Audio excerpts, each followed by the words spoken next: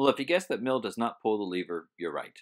He does not pull the lever because, well, he, he doesn't have an inherent care about the value of human life or anything like that. But it causes more suffering to pull the lever. Not pulling the lever means that the trolley simply goes down the right hand track. Pulling the lever would have resulted in more suffering, hence less happiness. We would have had the worst consequence. So here's a question Do you agree with Mill? Not only in his decision not to pull the lever, but with his reasons as well?